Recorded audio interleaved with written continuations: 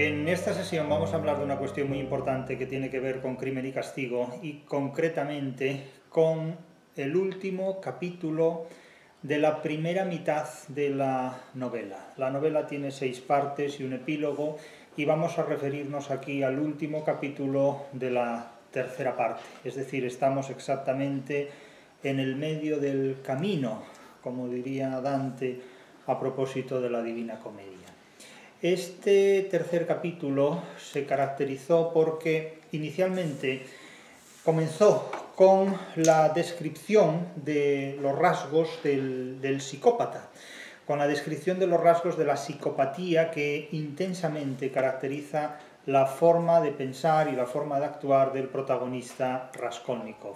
A continuación siguió una escena familiar y costumbrista donde el protagonista Raskolnikov mantiene un diálogo con su madre y con su hermana, con Pulgeria Raskolnikova y con su hermana eh, Dunia, y con su médico, un médico de costumbres, un médico de novela, un médico de literatura que sabe de medicina tanto como yo, es decir, nada, y con un, su amigo, un amigo suyo llamado Razumijin, que representaría pues, la razón o la forma de ejercer un racionalismo en, la vida como trasunto, como expresión de la, de la literatura. En esta conversación lo que se expone en realidad es uno de los fundamentos, uno de los idearios de la filosofía de Federico Nietzsche, que está en plena consonancia con Dostoyevsky desde el punto de vista de la seducción, que esta filosofía, la de Nietzsche, y que esta literatura, la de Dostoyevsky, ejercen sobre todo mm, sobre los psicópatas. Es decir, los psicópatas se sienten profundamente atraídos, profundamente eh, eh, sometidos, seducidos por eh, la filosofía de Nietzsche y por buena parte de las páginas literarias de Dostoyevsky. A continuación hay una tercera secuencia en la que Raskolnikov mantiene una eh, conversación, una relación de cierta ansiedad, una de las muchas relaciones ansiosas que mantiene Raskolnikov con Sonia, que es un, casi un adolescente, podríamos decir, que ejerce la prostitución, aunque en la novela no ejerce como prostituta, sino como interlocutora de, de Raskolnikov. Volveremos a esa secuencia mm, reproducida más adelante en otro contexto de dominación casi de psicología sadomasoquista en una nueva escena teatral. Hay que advertir que la novela de Crimen y Castigo de Dostoyevsky es una novela en la que se reproduce con una naturalidad extraordinaria todo tipo de recursos y procedimientos de escenificación teatral. De hecho, la novela Crimen y Castigo podríamos decir que es una eh, obra de teatral narrada, es una pieza dramática narrada o es una novela escenificada, es decir, es en este punto casi como la Celestina de Fernando de Rojas. Hay una cuarta secuencia en la que el protagonista mantiene un diálogo, un cara a cara, lleno de cinismo, lleno de perversión con el juez instructor de la causa, con Porfirio Petrovich, ante dos testigos, que son su amigo Razumijin, que es una especie de moderador de ese debate, y el secretario de juzgado, eh, Zamiotov, que es una especie de guindilla, es una especie de estimulante, es una especie de potenciador de, de todo tipo de estímulos en, en, ese diálogo, en ese cara a cara, que constituye una auténtica filosofía patológica del crimen, es una forma patológica de filosofar acerca de una idea completamente, eh, podríamos calificarla también de patológica o aberrante sobre, sobre el crimen, sobre el asesinato, que ya hemos explicado en el vídeo anterior y ya el remitimos. Finalmente, esta tercera parte concluye con un episodio que nos permite, desde el punto de vista de la interpretación literaria que aquí hacemos según la metodología que utilizamos en, la crítica de la razón literaria, nos permite hablar de la construcción literaria del inconsciente. Aquí vamos a hablar sobre todo del, inconsciente. el inconsciente no es el, profesor de universidad, no es el político, el, inconsciente es un concepto, en este caso es un concepto filosófico, más, más que un concepto incluso una idea filosófica, un referente filosófico que se construye pues sobre todo a lo largo del siglo XIX y al que Freud le da definitivamente un formato en términos de pseudomedicina, en términos de pseudomedicina como aquí vamos a ver. ¿Por qué vamos a hablar aquí de inconsciente? Pues vamos a hablar de inconsciente porque eh, la fábula, los hechos que constituyen este capítulo remiten simplemente a algo muy, muy elemental, muy básico. Tras su coloquio, su diálogo, su debate, con su interrogatorio con el juez de instrucción, interrogatorio completamente informal pero absolutamente decisivo, Raskolnikov vuelve a su mechinal, vuelve a su habitación, a su tabuco, a su zakizamí, por así decir. Y eh, cuando entra en el portal de la pensión, el portero le dice que ha venido alguien preguntando por él y que precisamente ese alguien ahí está. Eh, Raskolnikov, interesándose por quién ha preguntado por él, persigue a ese alguien, sigue a ese alguien y ese alguien en un momento dado se encara con el propio Raskolnikov y le dice, tú eres el asesino tú eres el asesino. Eh, inmediatamente después esa persona mm, desaparece, se va, el lector no sabe en este momento todavía quién es esa persona y se mantendrá en suspense la identidad de esta persona. No hay ningún misterio, este individuo es alguien que ha visto a Raskolnikov entrar y salir de la casa, del, del edificio, del portal en el que tuvo lugar ese acto criminal y por tanto es un testigo de cargo de, primera categoría en contra del, criminal. Pero esto lo sabremos después, en este momento no lo sabemos. ¿Por qué convocar aquí la presencia del inconsciente o la figura o la imagen del inconsciente? Pues por el hecho simplemente de que la voz acusatoria, terriblemente acusatoria, del tú eres el asesino que, que alguien profiere a Raskolnikov, parece de alguna manera, simboliza eh, de alguna manera, de alguna manera muy explícita, habría que subrayar, la voz de una entidad que desde la inconsciencia, es decir, desde el desconocimiento más absoluto por parte del lector, porque de hecho para, para el lector esta figura es una figura que brota de lo desconocido, brota de lo no consciente, es decir, brota del, del inconsciente o del subconsciente, como queramos denominar a esto, según una u otra nomenclatura, eh, brota, insisto, de la verdad del inconsciente. Es decir, es una verdad que Raskolnikov ha asesinado a Iliona Ivanovna, la vieja prestamista. Esto es un hecho que sabe el lector y que sabe el propio asesino, Raskolnikov, y que sabe también un testigo de cargo, un testigo que acaba de, de aparecernos, pero que no revela su identidad, que el lector no sabe quién es todavía este, este individuo, que acusa con absoluta veracidad y con absoluta verdad al artífice, al autor del crimen, es decir, al, criminal de hecho que todavía no lo es de, derecho, mm, porque no ha sido eh, juzgado. Mm, este, mm, esta acusación, este, esta situación provoca en Raskolnikov una desestabilización emocional que se intensifica sobre la desestabilización emocional, sobre la turbación con la que el propio Raskolnikov ha salido de su encuentro con el, con el juez, con lo cual en estos momentos Raskolnikov está viviendo una de las etapas más eh, desestabilizadoras emocionalmente hablando, eh, sometidas a una mm, ansiedad extrema eh, como consecuencia del crimen que ha cometido. Quiero decir con todo esto que este personaje que se manifiesta acusatoriamente en términos de una acusación feroz contra Raskolnikov en medio de la noche, en medio de, la inconsciencia más absoluta, del desconocimiento más absoluto por parte del lector y del propio criminal, representa de alguna manera uno de los atributos que el inconsciente hará suyos, es decir, la revelación de una verdad que procede de fuentes no exploradas, no conocidas. Y esto naturalmente ha contribuido al diseño totalmente racional de una de las figuras que se ha exhibido, que se ha presentado como más irracionales del pensamiento occidental, que es la figura del inconsciente.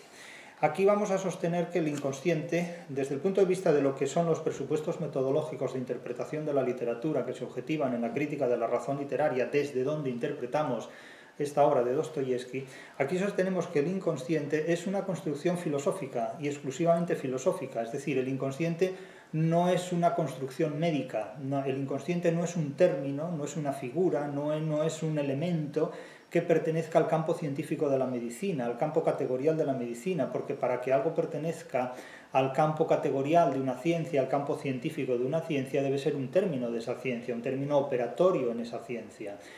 El hígado pertenece al campo científico de la medicina porque metaboliza proteínas, etc.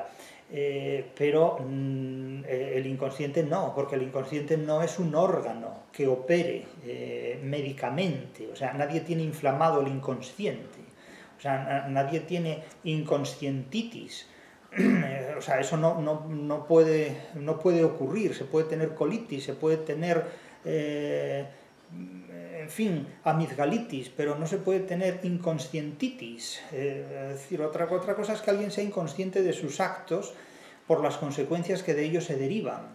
Pero, mm, salvo la excepción de aquel pintor que en cierta ocasión en una conferencia me dijo cara a cara que él pintaba con el inconsciente, claro, todavía estamos en duda cómo se pinta con el inconsciente, ¿no? porque ni la mona se pinta con el inconsciente, pero bueno, él pintaba todo con el inconsciente, según decía, pues eh, claro, nos queda por aclarar dónde está el inconsciente, eh, cuál es el órgano corporal humano donde habita el inconsciente y opera el inconsciente. Mientras no se descubra ese órgano corporal humano donde el inconsciente habita, pues no podemos hablar del inconsciente como un término científico del campo de la medicina, como un término operatorio en el campo de la medicina.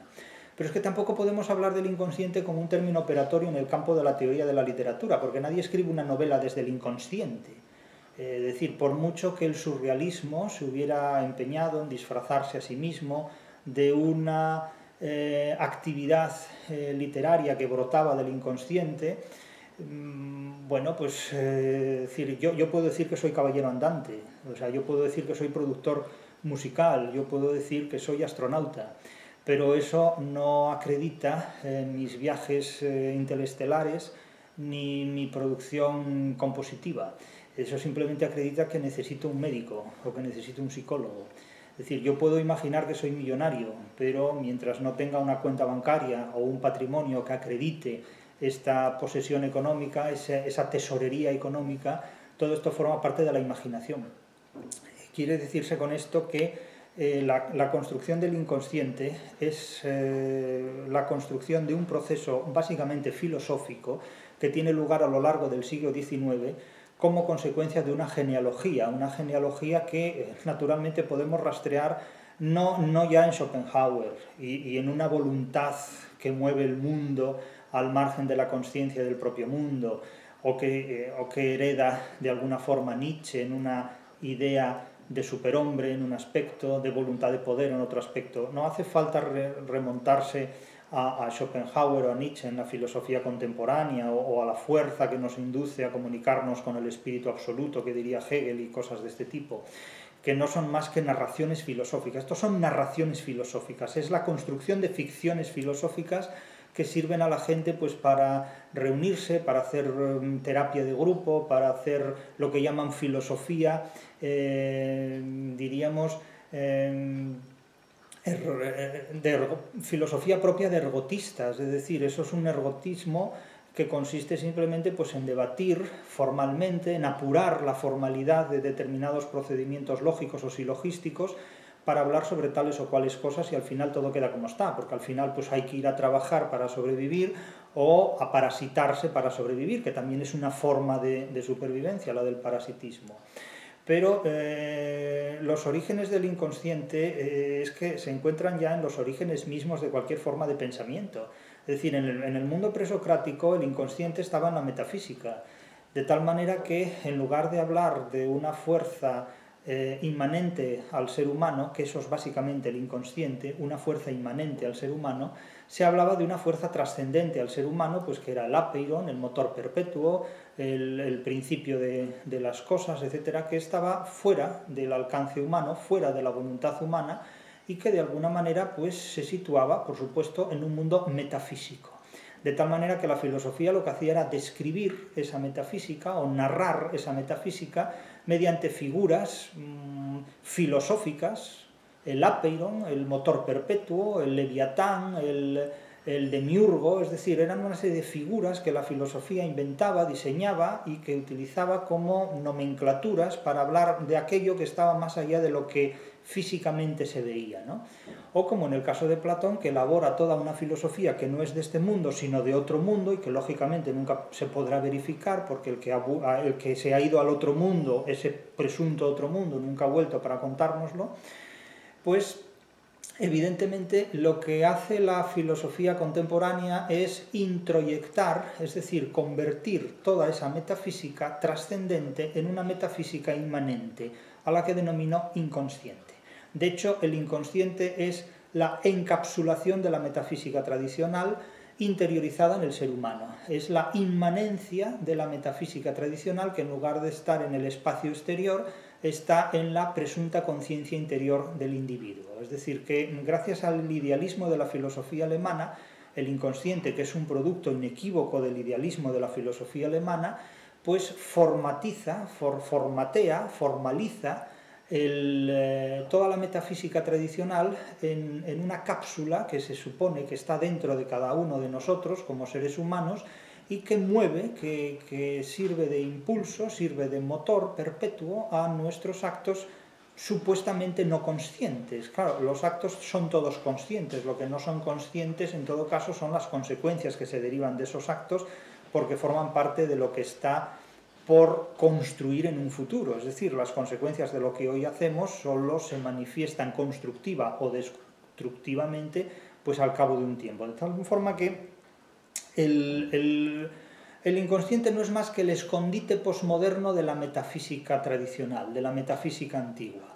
Y eso se consigue, pues naturalmente, gracias a, a, la labor filosófica y también literaria de una serie de individuos. Los filósofos construyen determinadas ficciones que los literatos después van embelleciendo a través de obras literarias o al revés. Los literatos van construyendo obras literarias donde se van generando determinadas formas de conducta y formas de pensamiento que con posterioridad los filósofos eh, bautizan con una determinada nomenclatura, con un determinado nombre. Quiero decir que la filosofía y la literatura han competido históricamente de manera extraordinaria en la construcción de grandes ficciones, de grandes ficciones literarias en un caso o de grandes ficciones filosóficas en otro caso.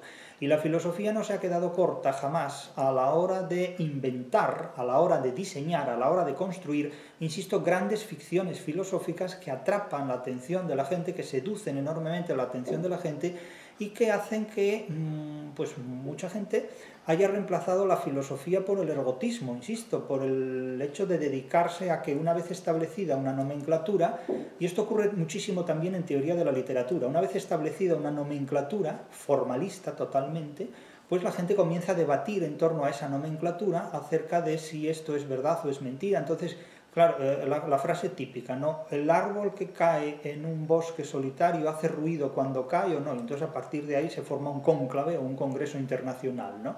O por ejemplo, eh, ¿qué es la novela fantástica? La novela fantástica es aquella novela en la que ocurre A, B y C y no ocurre H, J, K. Y entonces, claro, nos encontramos con novelas en las que ocurre A, B y J, K. Entonces eso no sabemos qué es.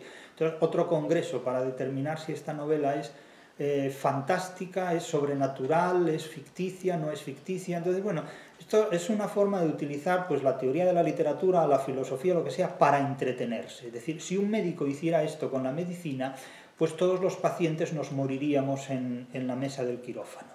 Porque claro, no, hay cosas que no se pueden limitar a un debate, sino que tienen que operarse tienen que eh, ejecutarse operatoriamente. ¿no? Eso es como el músico que se pasa toda su vida preparando una notación musical, una edición musical de una determinada pieza, de quien sea, por ejemplo, de una sonata de Beethoven, y no la, no la interpreta nunca al piano, porque como todavía no sabe exactamente si esto es un fa sostenido o, un re doble bemol, pues entonces hasta que eso sea claro, y claro, se le pasa la vida ¿no? con, eso. Es decir, que eh, el arte es un sistema de operaciones que tienen que ejecutarse, como cualquier otra actividad y que naturalmente mm, es susceptible de interpretaciones, por supuesto, científicas, como muchas otras actividades humanas. Otra cosa es que determinados debates, er, er, vamos, ergotísticamente hablando, es decir, se, se empantanen en discrepancias formales que nunca lleguen a ningún puerto, pero eso ya es un problema del ergotista. La filosofía no se puede reducir a ergotismo, es decir, a, debates eternos,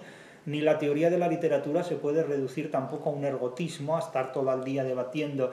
Es que tenemos esta definición de tragedia, pero después resulta que la tragedia Ifigenia de Eurípides no encaja en esta definición de tragedia. Entonces, por lo tanto, la tragedia de Eurípides está mal porque mi definición de tragedia eh, es infalible. No, es que no es así.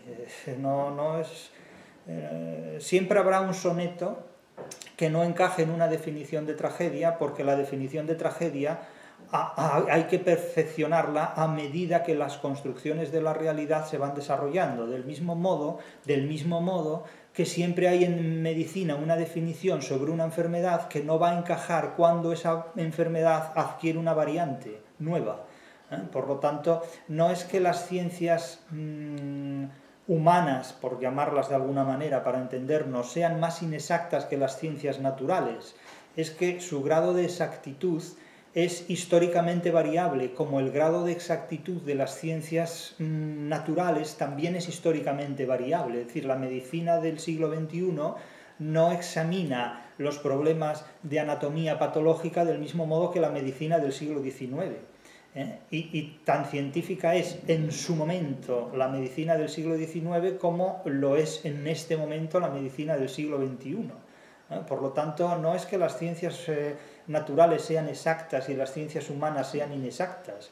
Unas y otras son exactas dentro de un contexto mm, categorial, dentro de un contexto científico que permite determinar el grado siempre relativamente aproximado de esta exactitud. Pero tocante a un concepto como el de inconsciente, hay que advertir claramente, al menos desde los presupuestos que sostenemos en nuestra teoría de la literatura, la crítica de la razón literaria, que el inconsciente es una construcción filosófica y concretamente es una construcción ficticia, porque no es un término que forme parte del campo categorial ni de la medicina ni de ninguna otra ciencia, del mismo modo que Dios es un concepto filosófico para los teólogos, es un concepto psicológico para los creyentes y es un concepto ficticio para los literatos. El Dios está azul de Juan Ramón Jiménez, de su poesía, no tiene nada que ver con el Dios de los teólogos, ni tiene nada que ver con el Dios de los creyentes, del mismo modo que el Dios de los teólogos eh, eh, la causa mm, primera, el motor perpetuo, no tiene nada que ver con el Dios de los creyentes. Es decir, el, Dios de la Divina Comedia no tiene nada que ver con el Dios de los creyentes, aunque sea un Dios parido por la escolástica medieval, en, el seno de la literatura, en la placenta de la literatura dantina. ¿eh? es decir, que no, todos los dioses son el mismo Dios, no, no todos los dioses son iguales. En la literatura tienen un sentido, en la teología tienen un sentido, en la filosofía eh, no teologizada, secularizada, tienen otro sentido, y, en la psicología tienen otro sentido. Es decir, Dios no es un concepto que forme parte del campo categorial de la medicina, eh, evidentemente. Eh, claro, por eso decimos que el inconsciente es el escondite posmoderno de la metafísica tradicional, que ha experimentado una, una reversión o una eversión de lo trascendente a lo inmanente. Es decir, todo ese apeiron, todos esos impulsos, todas esas fuerzas presuntamente, presuntamente irracionales porque no son asequibles al racionalismo humano, salvo a través de descripciones, alegorías y perífrasis, son interiorizadas a través del trabajo que ha llevado a cabo la filosofía eh, contemporánea en el inconsciente. Pero es que hay una cosa que a veces pues, eh, los que se mueven dentro de una actividad humana desconocen y es que esa actividad humana es completamente irrelevante en otras actividades humanas. Es decir, que los que ejercen la teoría de la literatura creen a veces que saben mucho de teoría de la literatura pues porque interpretan el Quijote de esta manera o de esta otra manera. Es decir, al, 99% de la población mundial la interpretación del Quijote le importa un bledo. ¿eh? Y, y, los que se dedican a la filosofía pues a veces creen que por interpretar la historia o el inconsciente o la realidad o la política de esta determinada manera hacen una labor muy importante, cuando al 99% de la población mundial las interpretaciones filosóficas les importan un bledo, aunque las practiquen sin saberlo. ¿eh? O sea, les importa absolutamente un bledo todo eso. Y además, mucha gente que tiene éxito en la vida y que tiene que abrirse camino en la vida y que son los que de hecho mantienen la economía de los países con el esfuerzo de su trabajo, nada saben de filosofía, nada saben de literatura, nada saben de medicina, nada saben absolutamente de nada más que de hacer su trabajo. Por lo tanto, conviene siempre eh, templar un poco la gaita a la hora de considerar que lo que uno hace es absolutamente importante, fundamental o, o decisivo, porque no lo es. Desde luego el inconsciente, insisto, es un concepto filosófico totalmente fantasmagórico, totalmente ficticio, es una construcción absolutamente formalista, incorpórea, que no tiene ninguna operatoriedad y que en todo caso solo puede entenderse como una ficción o como una alegoría inventada por la filosofía, una ficción más de las inventadas por el idealismo filosófico derivado del, idealismo alemán en lo que es el marco del mundo contemporáneo, que no sirve más que para entretenerse o engatusar a la gente. De hecho, el inconsciente es un cebo que oculta un anzuelo, un anzuelo mordaz, mm, variable según los intereses del pescador, del pescador de turno. El caso es que en este episodio, donde se acusa explícitamente desde una voz anónima, desde una especie de inconsciente rediseñado muy racionalmente, por, un artesano, se llama así, es un menestral, es un individuo que hace, es un autónomo, lo que diríamos un, trabajador autónomo que vio en un momento dado Raskolnikov entrar en la casa del crimen. Esa, esa acusación de tú eres el asesino es una voz que brota de una figura inconsciente, inconsciente para el protagonista del crimen, para el ejecutor del crimen, e inconsciente también para el lector. Es decir, esto es una voz que ha salido de no se sabe dónde, de no se sabe dónde. Lo sabremos más adelante, porque la novela no es una novela de literatura sofisticada reconstructivista que utilice una, lógica disidente mm, basada en términos ideales relacionados entre sí de manera ideal, que, es lo lógico de una literatura, eh, en fin, de una literatura que, es, es, ajena completamente al realismo, todo lo contrario, aquí nos encontramos con términos reales relacionados de manera también real, es una literatura crítica o indicativa no es una literatura programática que establezca relaciones ideales entre términos reales, propio de la utopía, ni tampoco una literatura crimen y castigo que podríamos calificar como sofisticado reconstructivista porque plantea relaciones reales entre términos ideales. Estamos fuera de todo este contexto. Estamos ante una literatura crítica o indicativa, ante una literatura profundamente realista en la que los términos que intervienen, personajes y acciones, son términos reales y las relaciones entre ellos son relaciones igualmente reales. Eh, véase el capítulo correspondiente a la genealogía de la literatura en la crítica de la razón literaria. Pero vamos al detalle de la escena, vamos al detalle de la, situación. Eh, Raskolnikov vuelve a, a, su pensión y en el portal se encuentra con el portero que le dice, mire, por cierto, ahí está, gritó una voz recia. Él alzó la cabeza. ¿Qué hay? preguntó Raskolnikov acercándose al portero. Y dice, eh, el artesano, el que preguntaba por él, es un artesano, es un menestral, insisto, es alguien que puede ser un zapatero, puede ser un sastre, puede ser un pequeño comerciante que vive de su negocio, lo miró de reojo y se lo quedó contemplando de hito en hito, sin darse prisa, después de lo cual dio media vuelta despacito y sin proferir palabras se salió del zaguán de la casa a la calle. Y Raskolnikov pregunta, ¿pero qué es esto? ¿Qué pasa? Y el portero le explica. Pues que ese individuo que acaba de salir preguntaba si vivía aquí un estudiante de su nombre y apellido de usted y en casa de quién se hospedaba. En ese mismo instante salió usted y se lo indiqué y él se largó. Eso es todo. Entonces Raskolnikov, movido por la ansiedad y por la curiosidad, persigue a este individuo y se acerca a él, pero el individuo no le hace caso, sigue su camino.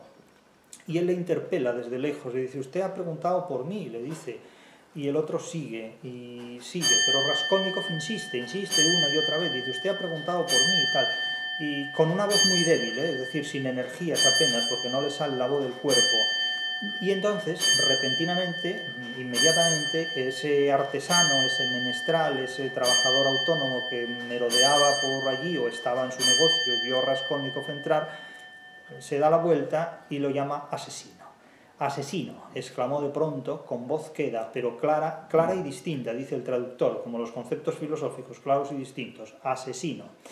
Y eh, Raskolnikov se incorpora y va andando a su lado, las piernas le flaqueaban horriblemente, le corrió el frío por la espalda y el corazón le pareció irsele a desmayar de un momento a otro, cual si se le desprendiesen de su sitio. no nos imaginamos a Aquiles eh, sintiéndose vulnerado emocionalmente porque alguien lo llamara asesino de, de, Héctor, por ejemplo. Es decir, ni, ni a Ulises que, le flaquearan las piernas porque alguien lo llamara asesino de unos o de otros. ¿no?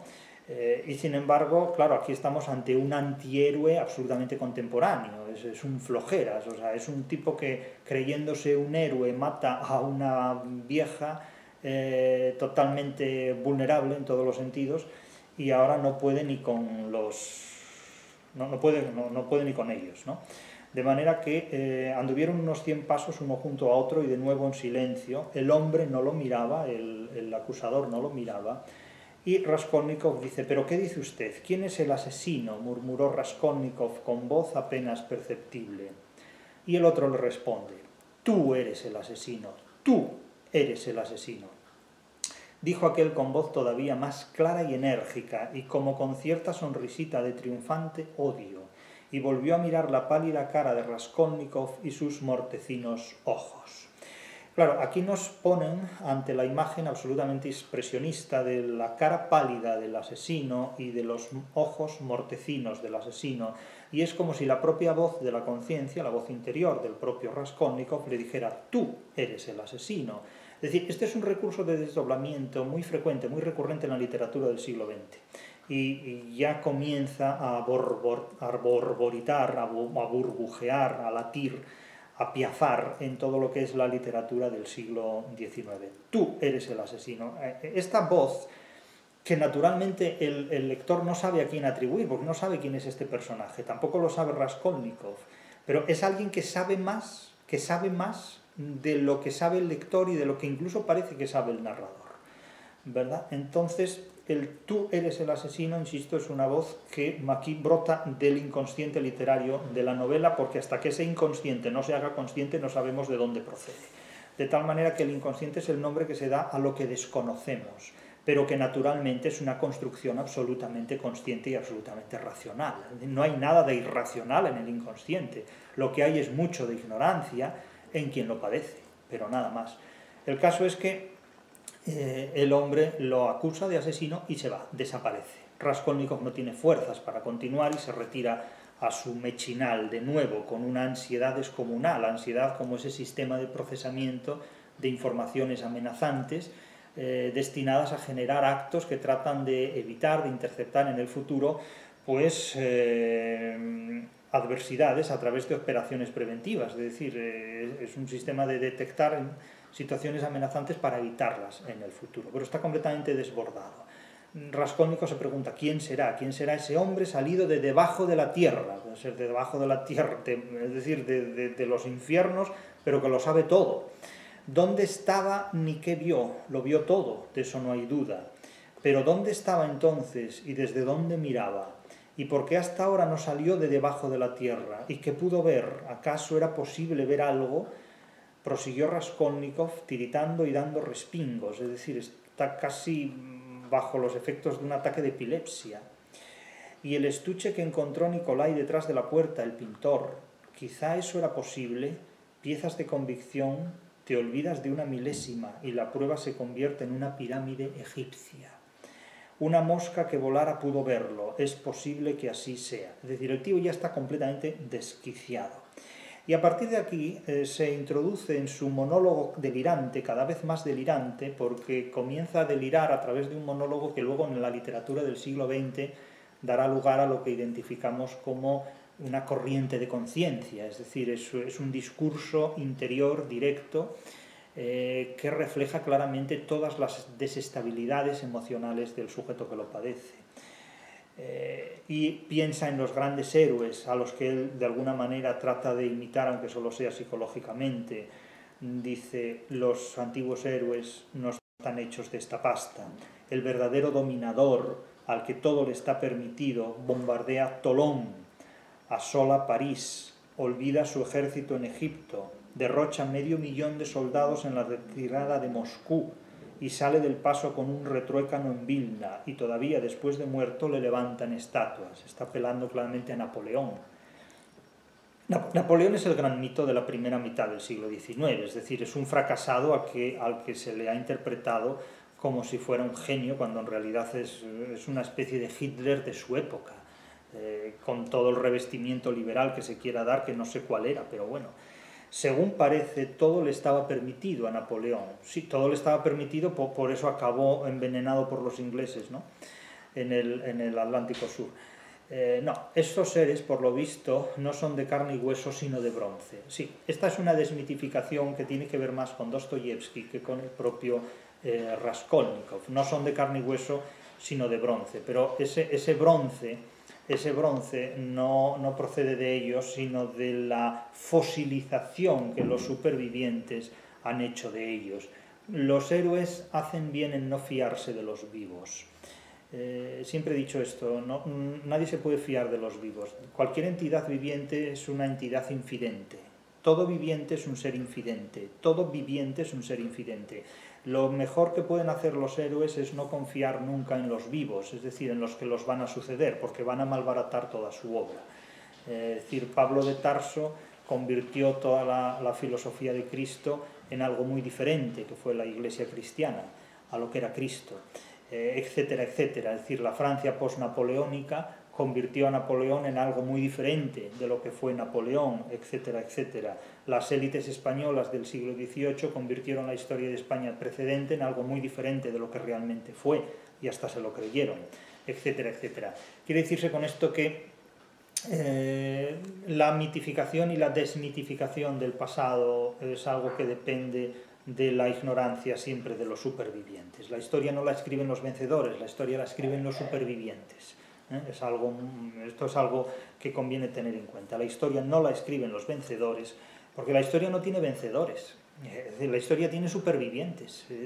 que yo, la, imagen del vencedor en la historia es una imagen completamente ridícula, es una imagen mitificante de, una, de una realidad que oculta unos fracasos inextinguibles, eh, realmente indisimulables. Es decir, la historia la cuentan los supervivientes, la cuentan, la narran los supervivientes. Otra cosa es que los supervivientes en un momento dado sean eh, suficientemente inteligentes como para diseñar su victoria o interiorizar su derrota.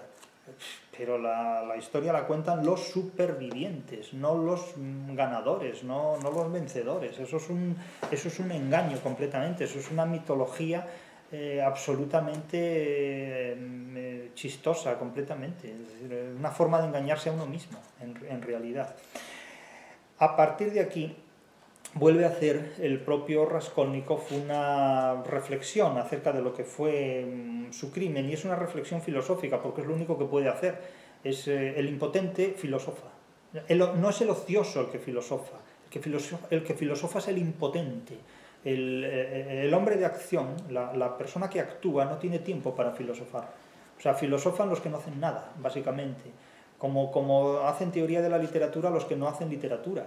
Es decir, eh, eh, a la teoría de la literatura se dedica al que no tiene nada que hacer. Por si tuviera algo útil que hacer, lo estaría haciendo, no estaría hablando de teoría de la literatura. claro, esto es lo que, lo que podemos reconocer, evidentemente. Es decir, es una forma de ejercer el parasitismo, en, en definitiva lo, menos que se puede hacer es reconocer esta evidencia. ¿no? Ahora que tire la primera piedra el que esté libre de pecado, como dijo Jesucristo, o como dicen que lo dijo. Mm, dice el propio Raskolnikov, enloquecido realmente en su delirio monológico, que eso de la vieja es un absurdo, es decir, eso del crimen es un absurdo. Pensaba con vehemencia por momentos de agobio. Eso de la vieja es un error, no, no puede tratarse de ella, esto no, no pudo haber sido cierto. La vieja estaba simplemente enferma, yo no quería más que saltar cuanto antes el obstáculo.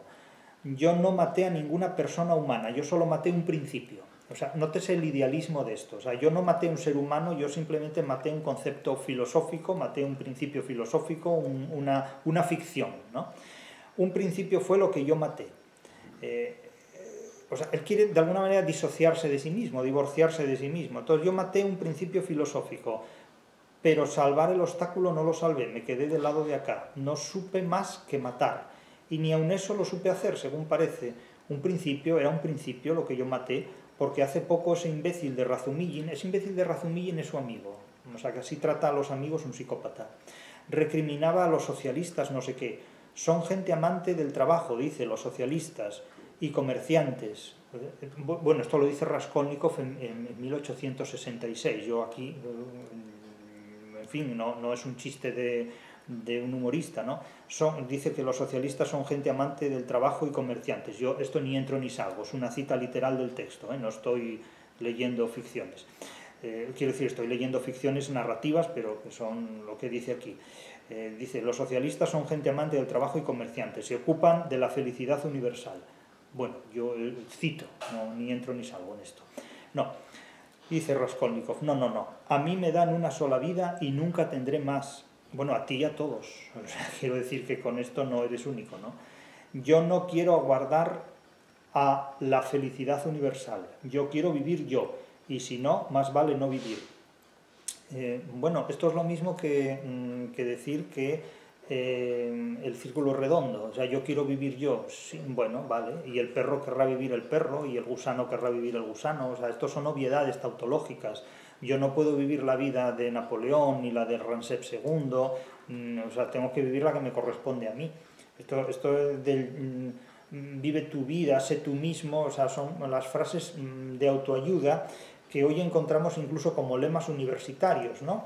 pero que en realidad son frases propias de psicopatología, en realidad. ¿Cómo? Yo, quería, yo no quería pasar frente a una madre famélica apretando en mi bolsillo mi rublo, en expectación o a la espera de la felicidad universal. Aportaré un ladrillo a la felicidad universal y así gustaré la paz del corazón. Pues no. ¿Por qué me habéis olvidado? Pues ved que solo tengo una vida y que quiero vivirla. Y la quiero vivir matando a gente irrelevante. Porque yo soy un piojo estético, dice el tío, dice Raskolnikov. Yo, dice Raskolnikov, soy un piojo estético y nada más, echándose a reír como un demente, añade el narrador. Bueno, echándose a reír como lo que es, un psicópata, un demente completo. Sí, yo soy efectivamente un piojo, prosiguió Raskolnikov, haciéndose con maligna alegría esa idea, escudriñándola, jugando y divirtiéndose con ella. Bien, eh, este podría pasarse el día haciendo memes de un piojo y diciendo soy Raskolnikov, el piojo, y no sé qué. Es decir, es un gilipollas, completamente, pero es un gilipollas que ha cometido un crimen ¿eh? y que lo ha hecho debido, entre otras cosas, a una demencia mm, que va creciendo, una demencia que va increciendo. En primer lugar, por el solo hecho de estar discurriendo ahora a propósito de eso y de que soy un piojo. Y en segundo término, porque durante un mes entero he estado molestando a la providencia, o sea, el tío se cree que ha estado mm, incomodando al orden moral superior, infinitamente buena, tomándola por testigo de que yo no urdía trampas y planes para mi provecho, sino con la mira puesta en un fin magnífico y simpático. O sea, este cree que ha resuelto los problemas del mundo matando a una vieja prestamista. De todos los piojos del mundo elegí el menos útil, se supone que la vieja prestamista, Aliona Ivanovna, y decidí darle muerte. Solo lo cogí exactamente por lo que me hacía falta para dar el primer paso, ni más ni menos. Por nada del mundo perdonaré a esa vieja. Tenía los cabellos empapados de sudor, secos y temblorosos los labios y la mirada fija apuntando al techo. Es decir, está como una cabra completa, evidentemente. Perdió el conocimiento, perdió el conocimiento. Y a partir de aquí experimenta una pesadilla, sufre una pesadilla. De nuevo volvemos al terreno de lo onírico, al terreno de los sueños, al terreno del llamado inconsciente, es decir, esa sala VIP donde todo está permitido. No es que si Dios no existe todo estuviera permitido, es que si disponemos de un inconsciente todo está permitido. La frase no es si, Dios no existe, todo está permitido. La frase es, si disponemos de un inconsciente, todo está permitido, porque el motor de nuestra voluntad es un motor inconsciente. Yo no soy responsable, el responsable es el inconsciente. ¿eh?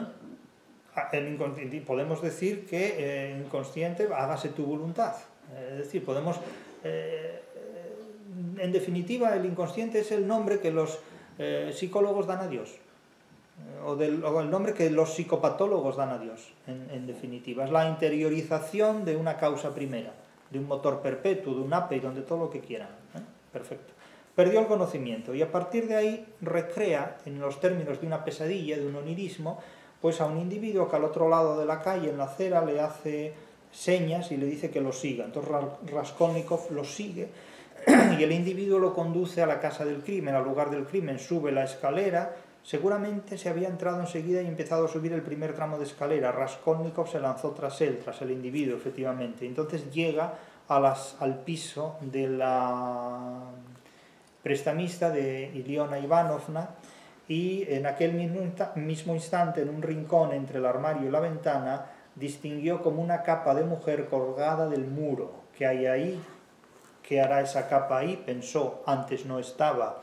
Se acercó despacio y adivinó que detrás de la capa se ocultaba alguien. Cautamente apartó con la mano la capa y vio que había allí una silla y en la silla un rinconcito y que estaba sentada una viejecita toda hecha un ovillo y con la cabeza baja, de suerte que no podía él verle la cara, pero era la misma.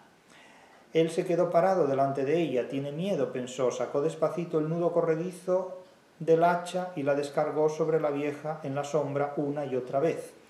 Eh, insisto que es la recreación en términos de la pesadilla de lo que fue el crimen, pero cosa rara, la vieja no se estremecía ni siquiera bajo los golpes, ni más ni menos que si hubiera sido de palo.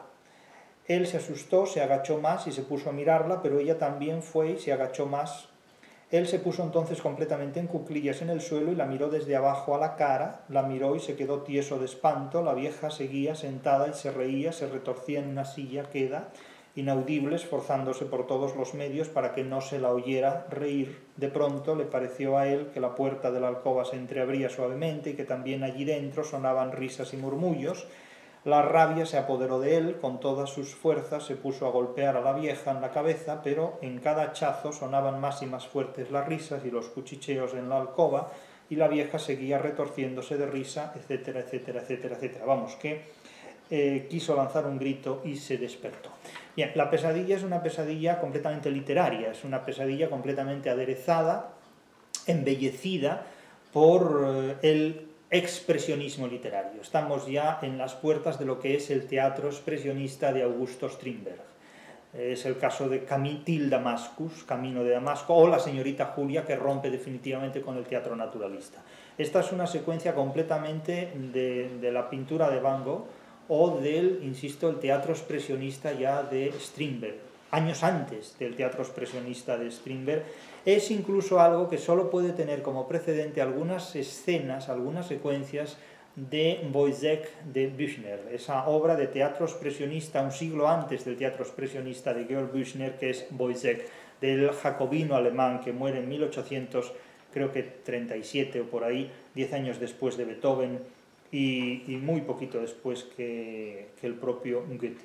De tal forma que esta pesadilla cierra en términos de onirismo esa construcción literaria del inconsciente a la que contribuye de forma decisiva Dostoyevsky en su novela Crimen y Castigo. Con posterioridad a esta pesadilla en la que eh, se despierta, Raskolnikov uh, vuelve en sí, otra vez recupera el conocimiento y se encuentra ante sí nada menos que a una figura real y operatoria que es la figura de un degenerado, de un pederasta, y de un suicida que se llama Svidrigailov. Además será el nuevo pretendiente que acosará a su hermana y que la acosará además físicamente, violentísimamente, en un momento dado, en una escena muy, muy inquietante, muy desagradable de la novela.